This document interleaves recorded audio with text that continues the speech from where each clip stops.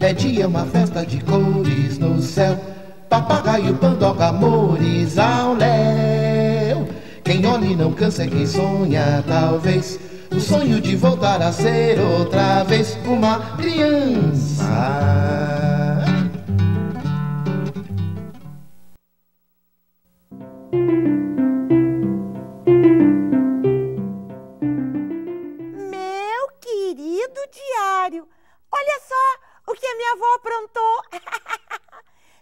Pediu para entregar um bilhete para uma amiga dela que mora perto do meu colégio. Hum, me fez mil recomendações. Eu fui. Fiz tudo direitinho. Para atravessar a rua, muito cuidado. Olhei para um lado, para outro. Esperei os carros passarem e atravessei na faixa de segurança. No caminho, encontrei uma amiga. Ela estava passeando com os cachorrinhos. um deles usa sapato diário. Que amor! Conversamos um pouco.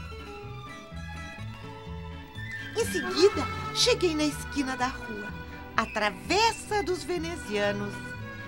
Que legal! Parei para olhar. As casas antigas de porta e janela.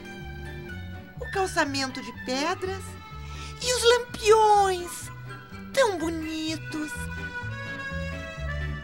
Com enfeites de caracol.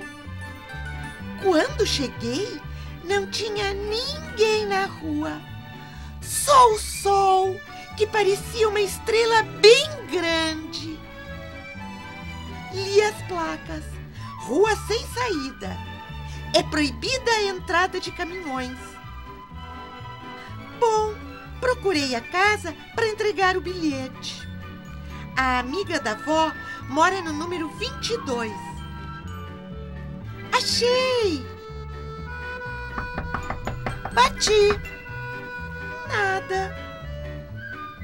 Será que ainda estão dormindo? Espiei tudo escuro.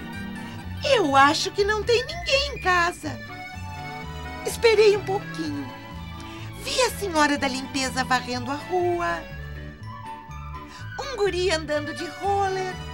E ninguém mais apareceu. Estava na hora de voltar. A avó podia ficar preocupada, não é? Viu só, diário? Bati com o nariz na porta, né? Minha avó esqueceu de avisar a amiga que eu ia lá. Hum, mas eu nem me importei, porque fiz sozinha uma caminhada muito legal. Bom, né? Por hoje era